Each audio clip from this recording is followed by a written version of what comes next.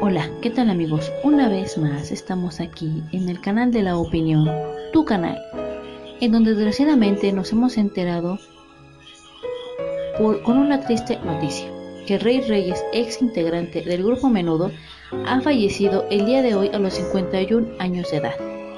Aún se desconocen las causas de su muerte, mas sin embargo, Venga la Alegría fue el que dio esta triste noticia de que este cantante había fallecido, que se decía que era la mejor voz de este grupo en su entonces. Probablemente después nos enteraremos cuál fue la causa real de su muerte. Sin embargo, el mundo de la música una vez más está de luto.